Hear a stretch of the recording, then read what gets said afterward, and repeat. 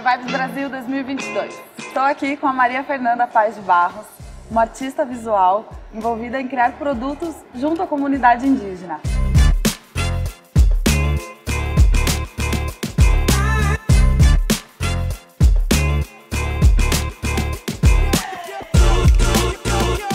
Maria Fernanda, muito obrigada por você estar aqui falando com a gente. É um prazer te receber. Obrigada pelo convite. Queria saber um pouquinho de você, como que você se envolve com essas comunidades que você cria produto e como que você consegue equilibrar a tua arte, o teu, uh, a design com a, as, o artesanato, a tradição das, das comunidades indígenas. Como que você une essas coisas? Bom, acho que a, a, a ideia inicial é sempre partir do princípio que uh, o artesanato precisa ser mais valorizado. Né? Então, quando eu, uh, quando eu me conecto com, com, com, esses povos indígenas ou com comunidades ribeirinhas, a ideia é sempre trazer o que eles fazem em destaque.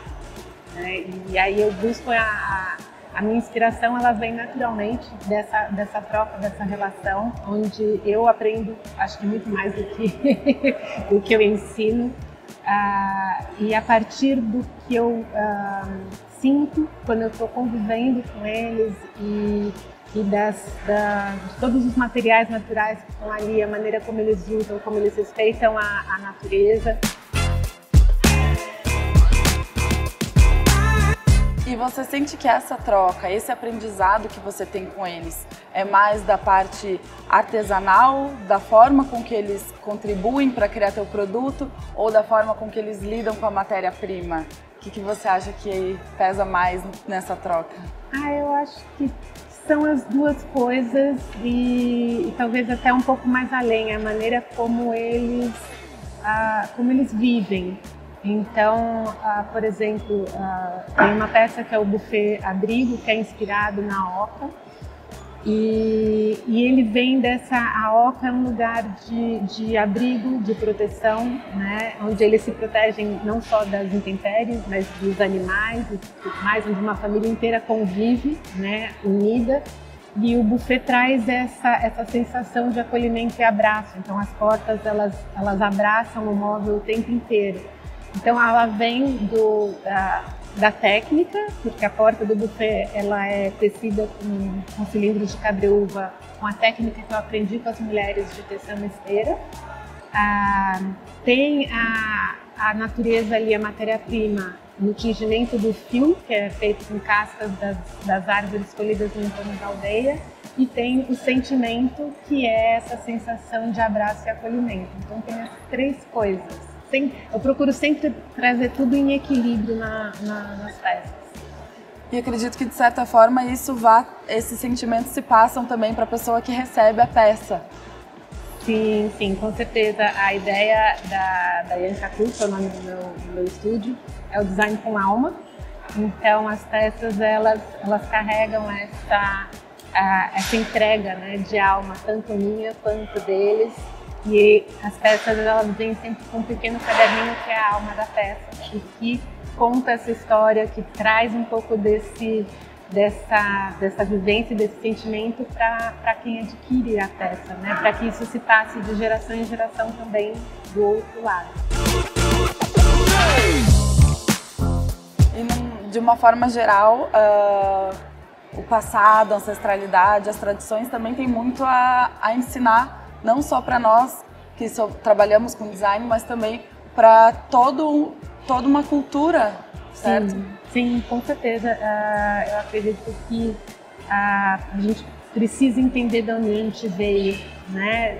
De onde a gente veio, não só nós, mas o, o nosso povo, o nosso país, né? Toda essa essa ancestralidade, ela faz parte da, da nossa história e muitas vezes a gente tem atitudes uh, e posturas que, que, são decorrentes disso lá de trás e que a gente não percebe. Então, uma vez que a gente se conecta com isso, a gente começa a entender um pouco melhor e a gente também percebe a importância do nosso papel né, uh, hoje, né, e como a gente impacta quem está ao nosso redor e quem vem depois de nós. Sim, que na verdade eu acredito que o design, a arte e as tradições, ela, elas estão diretamente ligadas à nossa história, à nossa cultura também. E como que essas comunidades influenciam o seu design? Ai, nossa.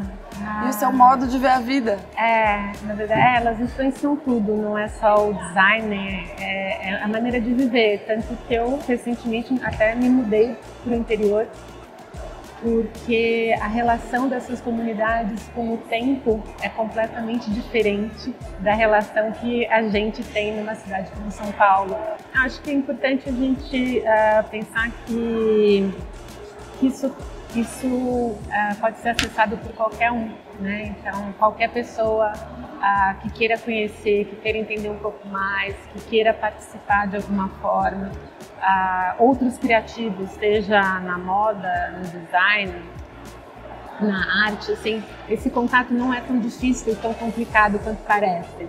É, é algo que é só a gente sempre entender a, a essa relação como uma relação equilibrada de respeito e admiração mútuos.